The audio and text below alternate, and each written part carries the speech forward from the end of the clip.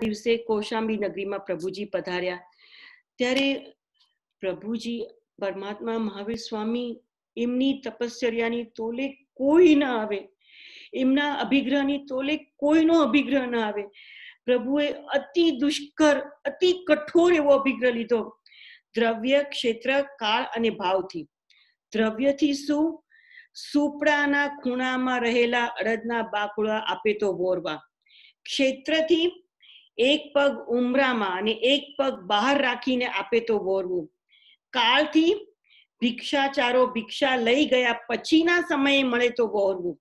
અને ભાવથી કોઈ રાજકુમારી હોય, દાસીપણાને પામેલી હોય, મસ્તક મુંડાવ્યું હોય, પગમાં બેડી હોય, રોતી હોય અને અઠ્ઠમનો તપ હોય, આ પ્રકારની સતી સ્ત્રી જો વોરાવે તો વોરવું.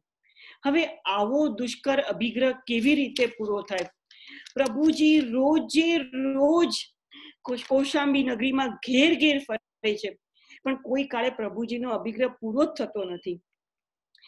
હવે અહીંયા ધનાવર શેઠ ચંદન બાળાને પોતાને ઘેર લઈ આવીને મૂળા શેઠાણીને કહે છે કે આને પુત્રી રૂપે આપણે ઘરમાં રાખીએ.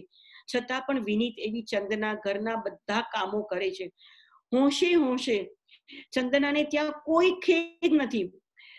એક વખતની રાજકુમારી જેની સેવામાં હજારો દાસ દાસીઓ હોય, આજે પોતે દાસી તરીકે રહીએ છે. પણ છતાંય એને મનમાં સમાધાન હતું. જે થાય છે તે મારા કર્મે થાય છે. અને જે થાય છે તે સારા માટે થાય છે. ચંદનાને કઈ વાત સ્પષ્ટ હતી કે કોઈ કોઈને દુઃખ આપી શકે એવો કર્મનો કાયદો જ નથી. મારા જ કર્મનો દોષ છે. અને જે એટલે ચંદના પોતે પોતાનો સમય વિતાવે છે.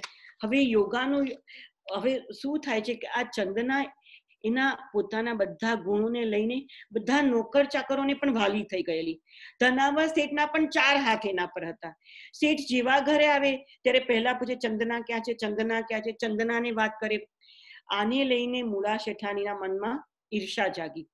મેં પહેલા પણ કહેલું, પ્રાય કરીને સ્ત્રીઓમાં ઈર્ષા એ બહુ મોટો દોષ હોય છે. હવે ઈર્ષાનું બીજ તો રોપાઈ ગયું. યોગાનું યોગ એક વખત શેઠ બહારથી ઘરે આવ્યા. મૂળા શેઠાણી પાડોશણના ઘરે ગયેલી. એટલે શેઠ ઘરે આવ્યા એટલે વિનીત એવી આ ચંદના તરત જ ઊભી થઈ. અને એ કાળમાં જ્યારે કોઈ બહારથી આવે, ત્યારે એના પગ ધોડાવે પગ સાફ કરે. એટલે ચંદના પોતે પાણી લઈ જઈ અને શેઠના પગ ધોવે છે. પિતા સમજીને પિતા તૃતીય પિતા માટે જેવો વાત્સલ્ય ભાવ એવા વાત્સલ્યથી પોતે ધનાવર શેઠના પગ ધોવે છે. પગ ધોતા ધોતા એના લાંબા વાળ હતા. તે કેશપાસ પગમાં પડે છે. એટલે શેઠને થયું કે આ પુત્રીનો કેશપાસ ખરાબ ન થાય, ધૂળથી મેલો ન થાય, એટલે શેઠે પોતાના લાકડી વડે આખો કેશ પાછળ ચંદનાના માસ્તક પર મૂકી દીધો. યોગાનુયોગ ત્યારે જ મૂળા શેઠાણી અંદર આવી. અને એને આ દ્રશ્યો જોયું. અને એને થયું નક્કી આ કઈ પિતા પુત્રીના ચેષ્ટીના, ચેષ્ટા નથી આવી. નક્કી આમાં કઈ કાળું લાગે છે. નક્કી મારા પતિ આને પોતાની પત્ની બનાવી દેશે. અને જો આને પોતાની પત્ની બનાવશે, તો આ તો યુવાન વયવાળી છે. સુંદર છે, રૂપવાન છે, ગુણોથી ભરેલી છે અને બધાને વાલી છે ઘરમાં. તો તો હું તો અળખામણી જ થવાની. મને કાઢી મૂકશે છે એટલે આવા આવા દુષ્ટ પ્રાહ્ય કરીને એક દુષ્ટ વિચાર આવે, આપણે ત્યાં સ્ટોપ ન મૂકીએ, તો એ વિચારની ધારા આગળ જ વધતી જાય. એટલે આ મૂળા શેઠાણી તો એટલું એટલું વિચારવા માંડ્યા કે નક્કી મને શેઠ આને પોતાની પત્ની તરીકે રાખી દેશે. પુરુષનું તો કહેવાય પણ શું? આમે પુરુષનો ભરોસો ક્યાંથી કરાય? એટલે એમ થયું કે હવે આને તો મૂળમાંથી જ કાઢી નાખવી કાઢી નાખવી પડશે. નહીં તો મારું મારું જીવન તકલીફમાં મુકાશે. હવે આ બંને તો પિતા પુત્રી જેવો વ્યવહાર હતો. આ લોકોના મનમાં પણ આવો વિચાર નહોતો. પછી અનુક્રમે થોડા વખત પછી શેઠ કે છે કે મારે ત્રણ દિવસ માટે બારગામ જવાનું છે. તો મૂળા શેઠાણી કે છે, જરૂર તમે જાઓ. હું બધાનું ધ્યાન રાખીશ પાછળ. એટલે શેઠ નિશ્ચિંતપણે બારગામ જાય છે, પોતાના ધંધાના અર્થે, વ્યવસાયના અર્થે. જેવા શેઠ બારગામ ગયા, એટલે મૂળા મૂળા શેઠાણી તો આ લાગ જોઈને જ બેઠેલી. એટલે ચંદનાને પકડીને લાવે છે કે, અરે દુષ્ટ, તારી નજર મારા ઘર પર છે. અને મારા પતિ ઉપર છે. ચંદના કે છે, માતાશ્રી, તમે શું બોલો છો? તો કે, હા, તારી નજર તો મારું ઘર પડાવી લેવા માટે છે અને આ તારા કેશ પાસ, આનો સ્પર્શ મારા પતિએ કરેલો. હવે આને તો હું મૂળમાંથી જ કાઢી નાખું. ચંદના કે છે, માતાશ્રી, અમારો પિતા પુત્રીનો વ્યવહાર છે. અમારે આવું કાંઈ નથી. માનતી જ નથી. અને કે છે, આ કેશના મારા પતિએ સ્પર્શ કરેલો. આ કેશ જ કાઢી નાખો. એમ કરીને માથું આખું મુંડાવી નાખે છે. ચંદના બહુ વીક કહે છે કે, માતાશ્રી, આપને ખોટો વહેમ છે. મૂળા માનતી જ નથી. પગમાં બેડીઓ પહેરાવી દે છે. હાથમાં બેડીઓ પહેરાવી દે છે. અને કે છે હવે આને તો મૂળમાંથી જ નાશ કરી નાખું. એમ કરીને ઘરમાં એક ભોંયરું હતું. અંધારો ઓરડો હતો, અંધારો રૂમ. એમાં એને પૂરી દે છે.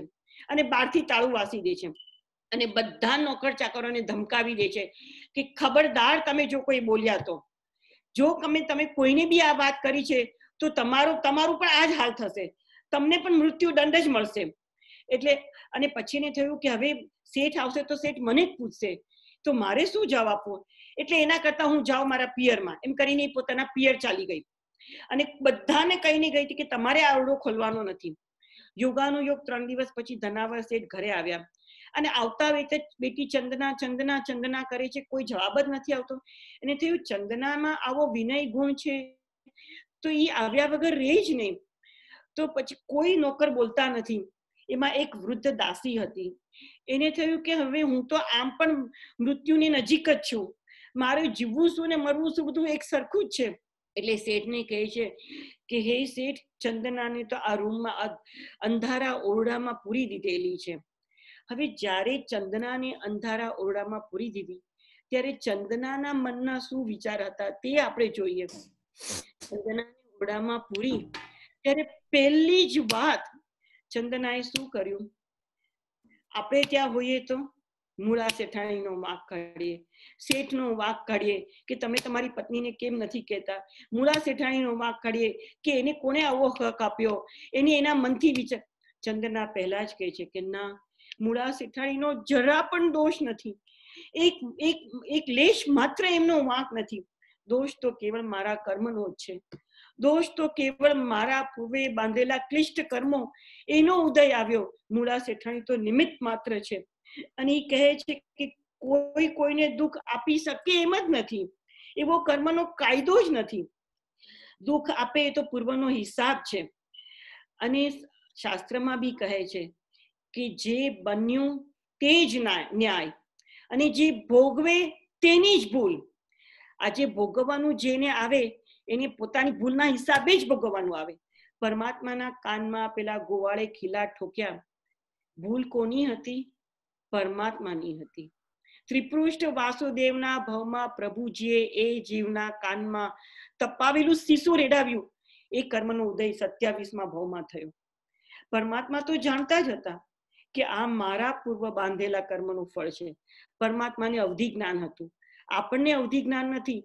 પણ છતાં બી શાસ્ત્ર માટે પરમાત્મા કહીને ગયા છે કે જે ભોગવે તેની જ ભૂલ માટે જે દુઃખ દે તેની ભૂલ નથી, પણ તેના કરતા જે ભોગવે તેની ભૂલ છે. સામાનો દોષ નથી, એ તો ખાલી નિમિત્ત માત્ર છે. અને જે સામાનો દોષ જોવે છે, તો એનો ગુનો બેવડાવ થાય છે. ડબલ મલ્ટીપ્લાય થાય છે એનો ગુનો. જગત આખું શું જોવે છે? સામાની ભૂલ જોવે છે. ભોગવે પોતે અને ભૂલ સામાની જોવે તો ગુનો ડબલ થાય. બે પ્રાણીઓ હોય છે, એક સિંહ પ્રાણી અને એક શ્વાન. બંને ઉપર તમે લાકડી નાખો, સિંહની ઉપર લાકડી નાખો તો સિંહ શું જોવે? લાકડી કોને મારી? એના પર તરાપ મારે. અને શ્વાનની ઉપર લાકડી મારો તો એ લાકડીને બટકા ભરવા માંડે. એટલે આપણે સિંહ વૃત્તિ કરવાની કે આ દુઃખ આવ્યું ક્યાંથી? દુઃખ આવ્યું ક્યાંથી? દુઃખ આવ્યું કર્મના હિસાબે. દુઃખ આવ્યું મારા પોતાના પૂર્વ બાંધેલા કર્મના કારણે. આ તો બધા નિમિત્ત માત્ર છે. આપના પૂર્વના પૂર્વના પાપ કર્મના કારણે દુઃખ આવ્યું છે. બાકી કોઈ કોઈને સુખ દુઃખ આપવાને સમર્થ જ નથી. બધા નિમિત્ત માત્ર છે. એટલે ચંદનાના મનમાં આ ભાવ સ્પષ્ટ હતો. આ ભાવ એકદમ ક્લિયર હતો. એટલે સૌથી પહેલી વાત ચંદનાએ મૂળા શેઠાણીનો બિલકુલ દોષ ન જોયો. ચંદનાએ પોતાના કર્મનો જ દોષ જોયો. ઈ જોયા પછી ચંદનાએ સ્વીકાર ભાવ કરી મૂળા શેઠાણીની ક્ષમા માંગી. એની સાથે મૈત્રી ભાવ કેળવ્યો અને પછી પોતે પરમાત્માનું શરણું લીધું. મેં પહેલા જ કહ્યું કે સંસાર સમુદ્ર પાર કરવા માટે પ્રભુનું શરણ અને પ્રભુનું સ્મરણ. આ બે જ ઔષધિ કામ લાગે છે. એને મહાવીર સ્વામી પરમાત્માનું શરણું લીધું. પરમાત્માનું સ્મરણ કરીને નમસ્કાર મહામંત્રમાં એના મનને પોરવી દીધું. હવે ત્યાં જો અને એને કહ્યું કે કર્મ સત્તાએ તો મને સારો અવસર આપ્યો. પગમાં બેડી હતી એટલે ક્યાંય હલન ચલન કરી શકાય એવું નહોતું. એટલે કાયાની સ્થિરતા આવી ગઈ. અંધારા ઓડામાં તો કોઈ હતું નહીં. એટલે બોલવાનો તો કોઈ પ્રયોજન નહોતું. એટલે વાણીનું મૌન પણ આવી ગયું. ખાલી રહ્યું મન. તો મનની પાસે બે વિકલ્પ હતા. કાં તો દુર્ધ્યાન કરે, કાં તો શુભ ધ્યાન કરે. કાં તો દુર્ધ્યાનમાં આપણે ગયા વખતે જોઈ ગયા કે કાં તો આર્ત ધ્યાન કરે. ઈષ્ટનો વિયોગ, અનિષ્ટનો સંયોગ, રોગ, ચિંતા કે અગ્રસોચ. અને કાં તો ધર્મ ધ્યાન કરે. ચંદનાએ સૌ, ચંદનાએ કયો માધ્યમ પકડ્યો? શુભ ધ્યાનનો માધ્યમ પકડ્યો. આજે જગત આખાએ કયો માધ્યમ પકડ્યો છે? દુર્ધ્યાનનો માધ્યમ પકડ્યો છે. જગત આખું કોને કોને કોને જોવે છે? દોષી તરીકે, વાયરસને દોષી તરીકે જોવે છે. પણ ચંદનાએ તો પોતાના કર્મને જ દોષ માન્યો અને પોતે શુભ ધ્યાનનું માધ્યમ લીધું. અને નમસ્કાર મહામંત્રમાં પોતાના મનને પરોવી દીધું. નમસ્કાર મહામંત્રની ધૂણી દખાવી અને પરમાત્માનું શરણું લીધું. ત્રણ દિવસ અને ત્રણ રાત આ મહાસતીએ આ જ કામ કર્યું. સતત નમસ્કાર મહામંત્રનું ચિંતન. અને એની સાથે એને શું કર્યું? પ્રભુ સાથેનું અનુસંધાન છોડી દીધું. She got connected to God પ્રભુ સાથેનું એનું મિલન થઈ ગયું. એને પ્રભુ સાથેનું એવું અભેદ અનુસંધાન કરી દીધું. એના બધા અશુભ કર્મો ખરી પડ્યા. ઘણા અશુભ કર્મો ખરી પડ્યા. અને ત્રણ દિવસ પૂરા થયા એટલે ધનાવર ત્યાં આવ્યા. ધનાવર શેઠ બધાને પૂછે છે કે ચંદના ક્યાં છે? ચંદના ક્યાં છે? ત્યારે પેલી ઘરડી દોશી છે, જે દાસી છે, ઈ શેઠને બતાવે છે કે, હે શેઠ, ચંદનાને તો અહીંયા પૂરેલી છે. શેઠ ખોલે છે દરવાજો. બે હાલ થયેલી ચંદનાને જોઈને શેઠની આંખોમાં આંસુ આવી જાય છે અરે રે ચંદના, તારી આ હાલત? કોણે કરી આ હાલત? ચંદના કાંઈ બોલતી નથી શેઠ પૂછે છે, કોણે કરી તારી આવી આ સ્થિતિ? ચંદના શું કે છે, મારા કર્મ એ કરી. શેઠ કે છે, કેટલા દિવસથી અંદર છે? ત્રણ દિવસથી. શેઠ છે, હે પુત્રી, તને બહુ ભૂખ લાગી હશે. લાવ હું તારી માટે કઈ ખાવાનું લેવા જાઉં. હવે ઈ કાળ જોવો ને આજનો કાળ જોવો. શેઠ હાંફળા ફાફડા થતા રસોડામાં જાય છે. બપોરનો સમય વીતી ગયેલો. બધાના જમવાનું પૂરું થઈ ગયેલું. આખા રસોડામાં એક પણ ખાવાની વસ્તુ શેઠને મળતી નથી. ખાવાની કોઈ વસ્તુ ત્યાં મળતી નથી. આજનું કાલે ખાવું એ તો બહુ દૂરની વાત છે. બપોરનું પણ સાંજે ત્યાં વાપરતા નહોતા. શેઠને થયું કે ઘરમાં કાંઈ નથી.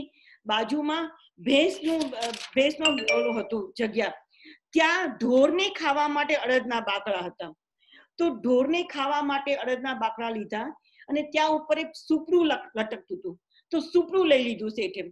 શેઠના મનમાં એટલી ઉતાવળ હતી કે જલ્દી મારી પુત્રી પારણું કરે. એટલે સુપડામાં લઈને અડદના બાકડા મૂક્યા અને ચંદના પાસે જાય છે ને કે, હે હે પુત્રી, તું પારણું કર. હે પુત્રી, તને બહુ ભૂખ લાગી હશે. તું પારણું કર. અને શેઠ કહે છે કે, હે પુત્રી, તું જ્યાં સુધી આ અડદના બાકડા વાપરે, ત્યાં સુધી હું લુહારને બોલાવીને આવું કે તારી બેડી તોડી આપે. એમ કરીને શેઠ ઘરમાંથી બહાર નીકળી ગયા. હવે ચંદના પાસે પાછા બે વિકલ્પો આવ્યા. એક તો પોતે ત્રણ ત્રણ દિવસના ઉપવાસથી ભૂખેલી, ભૂખી છે. હવે ઉપવાસ, ઉપવાસમાં પણ ફરક હોય.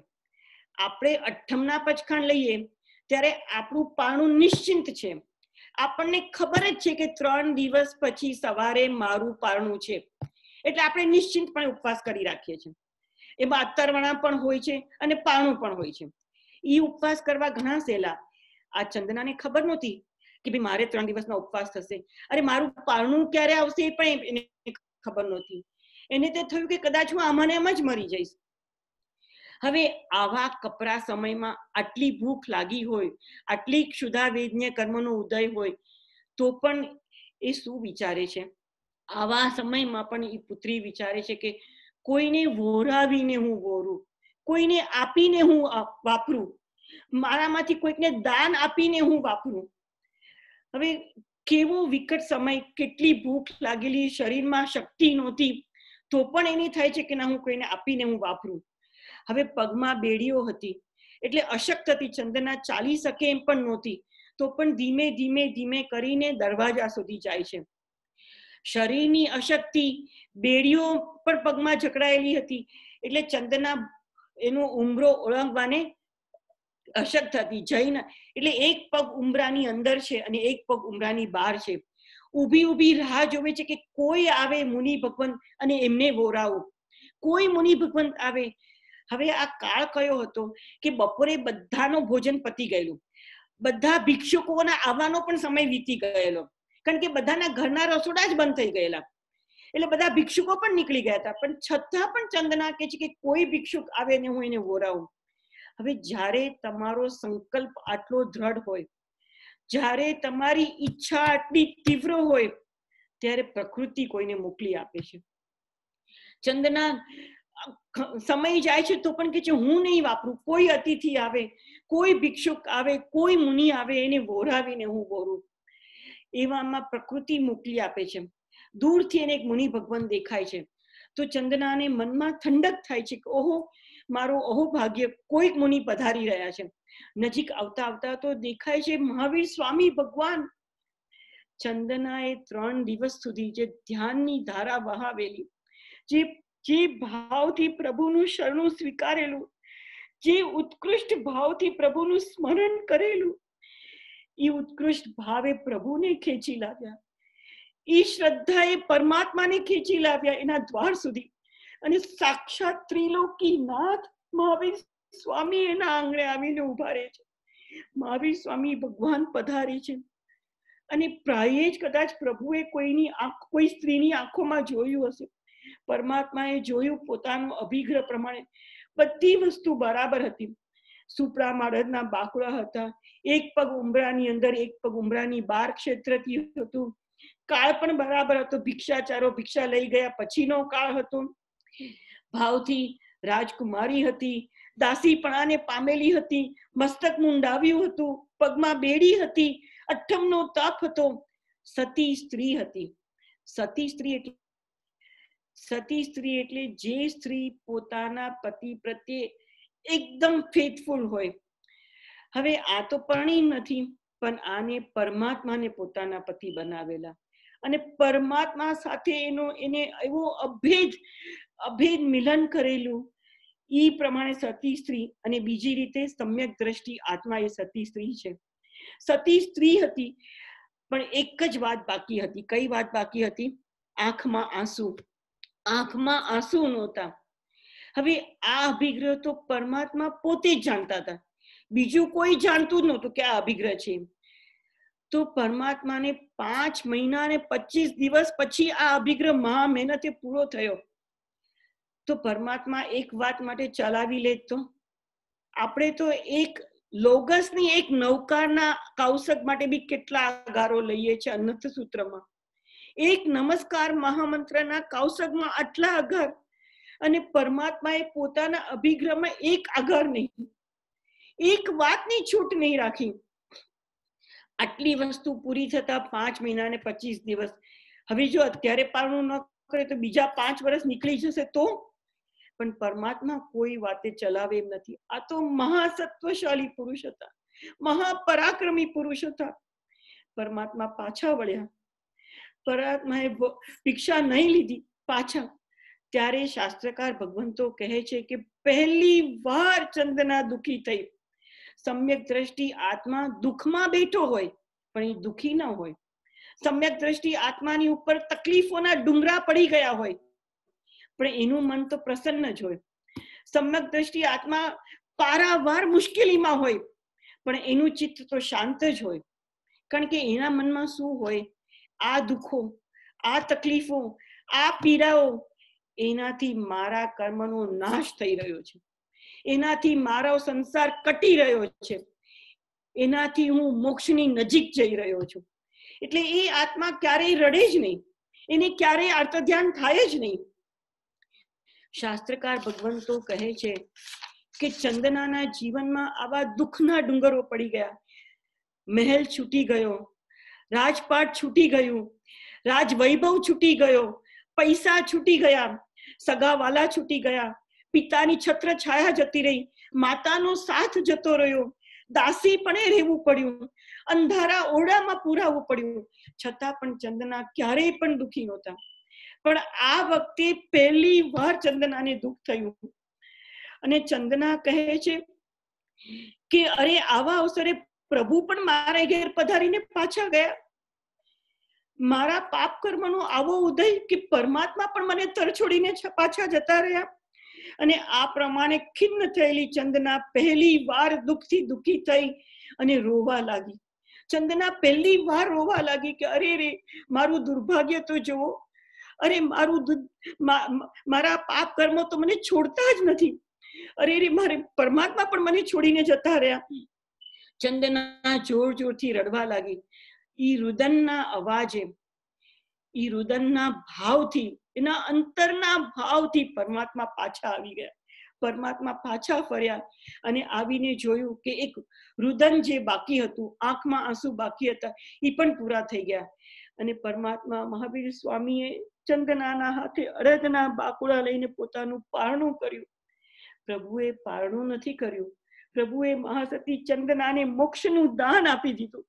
મહાસતી ચંદનાને સંસાર સમુદ્ર પાર કરાવી દીધો. જેવું પરમાત્માએ અડદના બાકુડાથી પાણું કર્યું. દેવોએ ત્યાં આજુબાજુ રહેલા દેવોએ અહો દાનમ, અહો દાનમની ઉદ્ઘોષણા કરીને દેવો નાચવા લાગ્યા. પરમાત્માનું, અરે, ચંદનાનું આખું શરીર સુશોભિત કરી નાખ્યું. પગની બેડીઓ તોડી નાખી. આ પગની બેડીઓ નહોતી, આ કર્મની બેડીઓ હતી. એના બધા કર્મો તૂટી ગયા. અશુભ કર્મોનો નાશ થઈ ગયો. અને બેડીઓ તૂટી ગઈ અને ત્યાં સોનાની પાયલો થઈ ગઈ. એના વસ્ત્રો સુશોભિત થઈ ગયા, અલંકારો આવી ગયા અને એના કેશ પાશ પાછા પેલાની જેવા થઈ ગયા. અને દેવોએ સાડા બાર કરોડ સોનૈયાની વૃષ્ટિ કરી ચંદનાના ઘરમાં. આ વૃષ્ટિ, આ ધન સંપત્તિ એ તો બહારની ધન સંપત્તિ છે. પણ ચંદનાએ જે પ્રાપ્ત કર્યું, પરમાત્માને દાન આપીને પરમાત્માએ જે પ્રાપ્ત કર્યું, મોક્ષનું સુખ, ઈ એના પ્રતીક રૂપે હતું. અને દેવો ઢોલ નગારા વગાડવા માંડ્યા, નાચવા માંડ્યા. આ બધા કોલાલથી બધા નગરજનો ભેગા થઈ ગયા. અને પછી ત્યારે ત્યાં રાજા, શતાનિક રાજા અને મૃગાવતી રાણીને ખબર પડી. એટલે રાજા રાણી પણ ત્યાં આવી ગયા. ધનાવર શેઠ પણ આવી ગયા. અને બધાએ જોયું કે ઓહો, આખા નગરમાં પુણ્યશાળી તો આ એક જ આત્મા હતો. આખા નગરમાં સત્વશાળી તો આ એક જ આત્મા હતો. આખા નગરમાં ધર્મિષ્ઠ તો આ એક જ આ આત્માનું પુણ્ય હતું. એને ચંદનાએ પરમાત્મા સાથે પોતાનું અનુસંધાન કરી દીધેલું. એને પરમાત્મા સાથેનું પોતાનું જોડાણ કરી દીધેલું. એને માટે પ્રભુ ત્યાં આવ્યા. એટલે શતાનિક રાજા આવ્યો, મૃગાવતી રાણી આવી અને કહ્યું કે, ઓહો ધનાવસે તમે એક જ પુણ્યશાળી શેઠ છો. તમારી પુત્રીએ આજે પરમાત્માને આવું પારણું કરાવ્યું. ત્યાં જ્યાં લોકોના ટોળા હતા, એમાંથી એક લોક, એક માણસ બોલ્યો, કદાચ એ પેલો સુભટ જ હશે.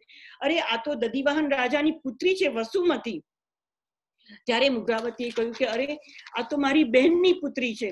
ત્યારે મુગ્રાવતી પોતાના પતિને કહે છે, શતાનિક રાજાને, કે ધિક્કાર હો તમારા, તમારી લાલસાને. તમે રાજ, તમે ચંપા નગરી પર ચડાઈ કરી. ત્યારે મારી મારી બેનની દીકરીને કેવા કેવા દુઃખો ભોગવવા પડ્યા? ધિક્કાર છે તમારા આ બધા રાજ ખટપટને. અને મારી બેનની દીકરીને આટલું બધું દુઃખ ભોગવવું પડ્યું. શતાનિક રાજા પહેલી વાર પોતાની ભૂલ કબૂલ કરે છે અને વસુમતીની માફી માંગે છે કે, હે પુત્રી, મારા કારણે તને આટલું બધું દુઃખ સહન કરવું પડ્યું. જો મેં ચડાઈ ન કરી હોત તમારી નગરીને લૂંટી ન હોત, તો તારા આવા બે હા ત્યારે ચંદનમાળા પાછું કહે છે કે, ના, તમારો કોઈનો દોષ નથી. દોષ મારા કર્મનો જ છે. દોષ મારા કર્મનો જ છે. ત્યારે ઇન્દ્ર મહારાજા પણ આવે છે અને ઇન્દ્ર મહારાજા કહે છે કે આ ચંદના આજ ભવે મોક્ષે જનારી છે. અને આ વીર પ્રભુ પાસે દીક્ષા લેવાની છે. પરમ વૈરાગ્યવાન આ આત્મા છે. ત્યારે શતાનિક રાજા કહે છે કે, ચંદના, ચાલ હું તને મારી સાથે મારા રાજમહેલમાં લઈ જાઉં. ચંદના કે છે, નહીં ધનાવર શેઠે મારું પુત્રી રૂપે પાલન કર્યું છે. હું ધનાવર શેઠ પાસે રહીશ. ત્યારે સતાનિક રાજા ધનાવત શેઠને સમજાવે છે. એટલે ધનાવત શેઠ કે છે કે, હે ચંદના, મારું ઘર તો અતિ પવિત્ર થઈ ગયું તારા ચરણના સ્પર્શથી.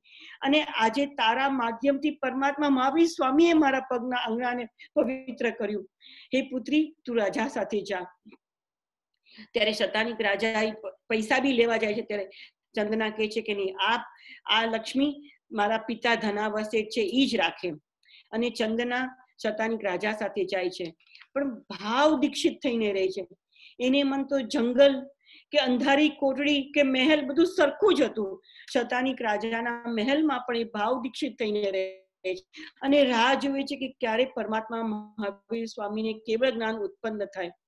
યોગાનો યોગ આ કઠોર અભિગ્રહ તો પરમાત્માનો પૂરો થયો. અને થોડા જ સમયમાં પરમાત્માને કેવળ જ્ઞાન ઉત્પન્ન થયું. આ એમની જે તપશ્ચર્યા હતી, આવી તો ઘણી કઠોર અને ઘણી કઠિન તપશ્ચર્યા પરમાત્માએ કરી. સાડા બાર વર્ષ બાર વર્ષ છ મહિના અને પંદર દિવસમાં પરમાત્માને કેટલા ઉપવાસ થયા? ચાર હજાર એકસો ને છાસઠ, four thousand one hundred and sixty six દિવસના એમને ઉપવાસ થયા. અને ત્રણસો ને ઓગણપચાસ પાનાના દિવસ. પાનું પણ કેવું? ઠામ ચોવ્યાર જ્યારે જ્યારે વાપરે ત્યારે આહાર પાણી બધું એક જ સમયે. બધા ઉપવાસ ચોવ્યારા, બધા પાણા ઠામ ચોવ્યારા. અને પ્રમાદ કાળ કેટલો? એક અંતર મુહૂર્તનો બે ઘડી, અડતાલીસ મિનિટથી ઓછું, એટલો જ પ્રમાદ કાળ અને ઈ પ્રમાદ કાળમાં પણ પ્રભુ લાંબા થઈને સૂતા નથી. ખાલી ભોંય પર એટલી વાર બેઠા, જમીન પર. બાકીનો બધો સમય પરમાત્માએ કૌશક ધ્યાનમાં જ વિતાવ્યો છે. આવી ઉગ્ર તપશ્ચર્યા કરનાર તો એક મહાવીર સ્વામી જ છે. ધન્ય છે મહાવીર સ્વામીને. આવી ઉગ્ર તપશ્ચર્યાઓ કરીને, પોતાના સર્વ અશુભ કર્મનો ક્ષય કરીને પરમાત્માની કેવળ જ્ઞાન ઉત્પન્ન થયું. પરમાત્માની કેવળ જ્ઞાન ઉત્પન્ન થતાની સાથે પરમાત્માએ ચતુર્વિધ સંઘની સ્થાપના કરી.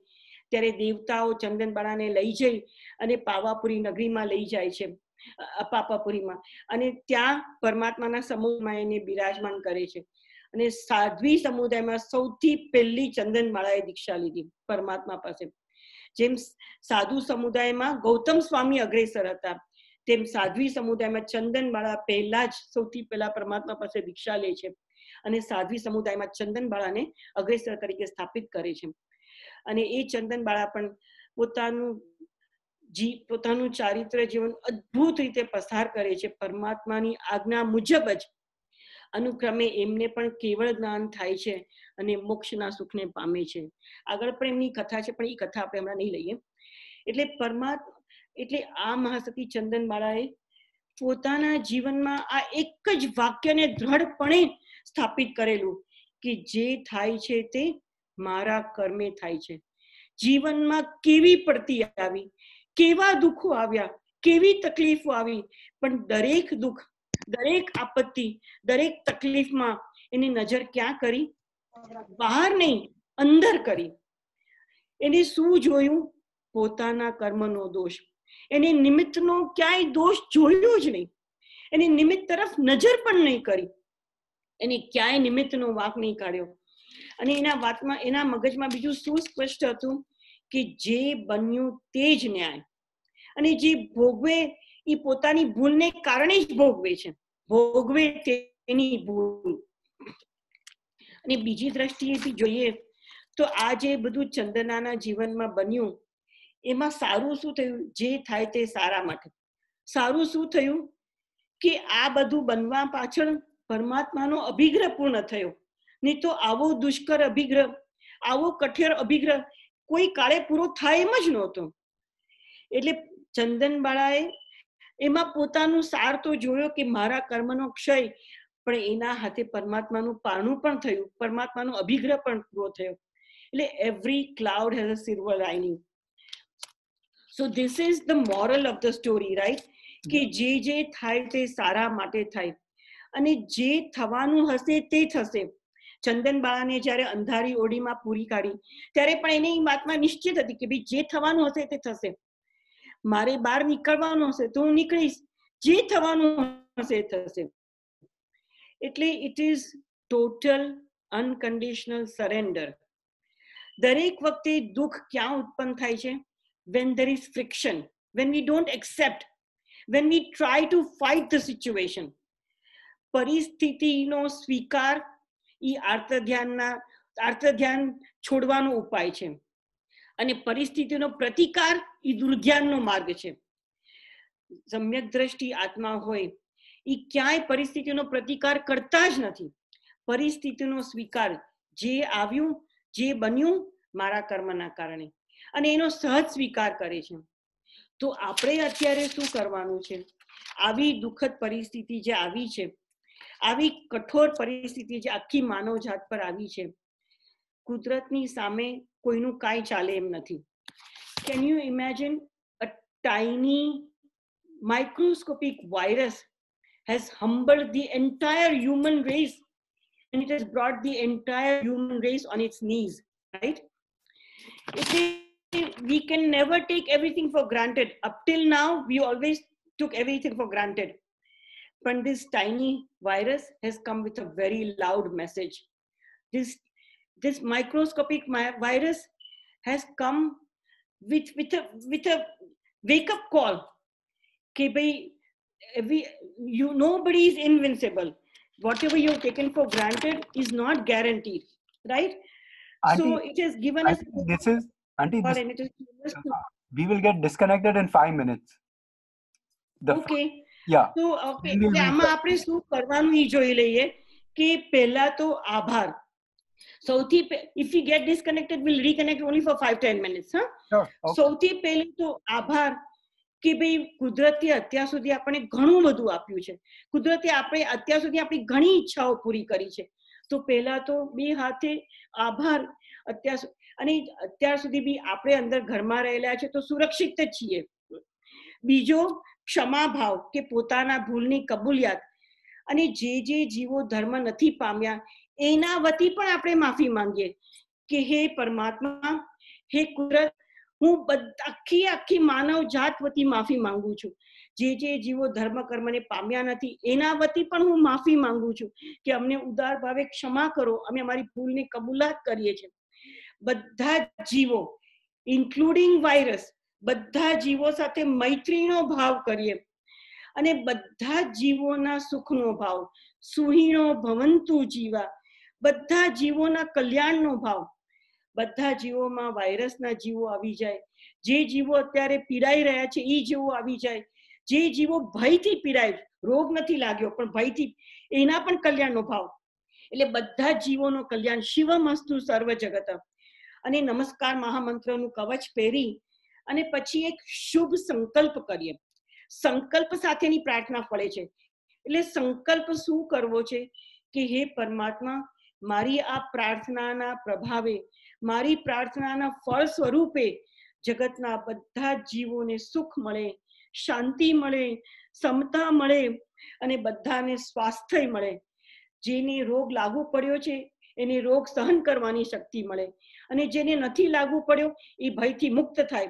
બધા જીવોને સુખ, શાંતિ, સમતા, સમાધિ મળે એવા સંકલ્પ સાથે આપણે પ્રાર્થના કરીએ. તો આ સંકલ્પથી કરેલી પ્રાર્થના અવશ્ય ફળશે અને બધા જીવોને સુખ, શાંતિ અને શાતા મળે એવી જ પ્રાર્થના આપણે કરીએ.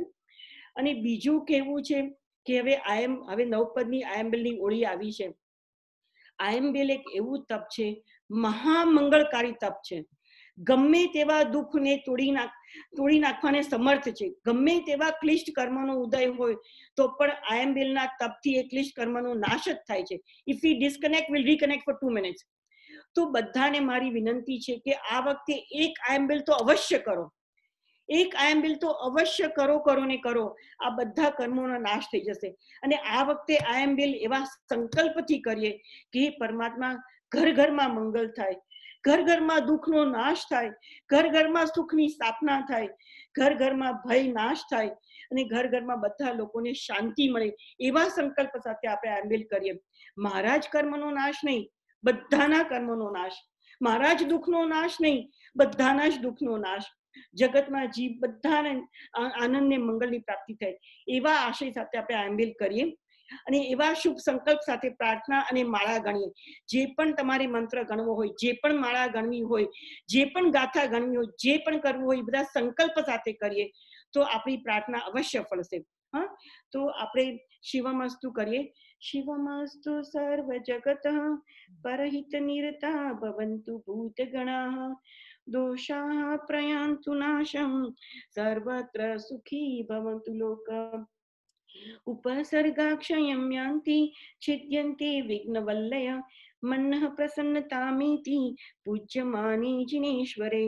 सर्वमङ्गलमाङ्गल्यं, सर्वकल्याणकारणं પ્રધાનમ સર્વધર્માણમ જૈનમ જયતી શાસનમ અને I have another humble request કોઈને બે આઈ એમ વેલ કરવું હોય, ટિફિન જોઈતું હોય, તો હું ટિફિન કરી આપીશ. જેને પણ ટિફિન જોઈતું હોય એને પહોંચતું કરીશ, કાં તો તમે મારા ઘરથી ટિફિન પિકઅપ કરી જજો. અને એવું ના કરવું હોય ને આઈએમબેલની કોઈ બી આઇટમ્સ જોઈતી હોય, કોઈ બી લોટ જોઈતા હોય ચણા, ખાખરા, પાપડ, આવું કાંઈ પણ જોઈતું હોય, તો મને પર્સનલી ફોન કરજો. મારી પાસે છે, હું તમને આપીશ. કાળ હમણાં જ કરેલા બધા લોટો છે, એટલે તમને કાળનો પણ દોષ નહીં લાગે. તો જેની બી આઈએમબેલ કરવું હોય, એ જરૂરથી કરો. અને હું પચખાન પણ મોકલાવીશ. હેમવલ્લભ મારા સાહેબના નામથી પચખાન મોકલાવીશ. એમના ફોટાને સામે રાખી અને તમે આયમ્બેલના પચખાન લેશો. અવશ્ય આયમ્બેલ થશે. અવશ્ય તમને આયમ્બેલ થશે. તમે સંકોચ રહિતપણે આયમ્બેલ જરૂરથી કરો. આ આયંબેલના પ્રભાવે આખા જગતમાં શાંતિ થાય. આયમ્બેલના પ્રભાવે જગતના બધા જીવોને સુખ મળે એવી જ આશા અને એવી જ અભ્યર્થના કરીએ. જીન આજ્ઞાની વિરુદ્ધ કાંઈ પણ કહેવાયું હોય તો મન વચન કાયા કરી મિચ્છામી દુર્ગમ મિચ્છામી દુર્ગમ કોઈને પણ કાંઈ પણ કહેવું હોય તો જરૂરથી કહો હં? જય Jinendra Anybody, any comments, suggestions? ના ના I mean, uh, just એટલે બીજું એક કહેવું તો I want to say that આંબિલ has my cholesterol by 40 point DL 40 point without a medication. Just I mean as a side note, I mean that is a side effect. એટલે we- as a farmer, you uh, farm for uh, uh, grains, but uh, the grass is the side product. So like health benefit is the side product. I would. આંબેલના તો ઘણા ઘણા ઘણા benefit છે પણ આપણે ઈ કોઈ બાહ્ય બેનિફિટ્સ ની વાત જ નથી કરવી અભ્યંતર બેનિફિટ આપણા કર્મનો નાશ થાય આખા જગતમાં શાંતિ પ્રસરે સુખ પ્રસરે મંગલ થાય એવી જ પ્રાર્થના આપણે કરવાની. અને જીવ દયા કિરણભાઈ મેં ગુરુ ભગવંતોને બી પૂછેલું કે આવા કાળમાં આવા સમયે જીવ દયા ઇઝ ધ ટોપ પ્રાયોરિટી તમે સાથે સાત ક્ષેત્રોમાં વાપરો ચોક્કસ વાપરો પણ અત્યારે આ સમયને અનુસરીને જીવ દયા ઇઝ ધ ટોપ પ્રાયોરિટી કે મૂંગા પશુઓને આપણે જ્યારે અભયદાન આપીએ ત્યારે એના અંતરમાંથી નીકળતી જે દુવાઓ હોય છે એ દુવાઓ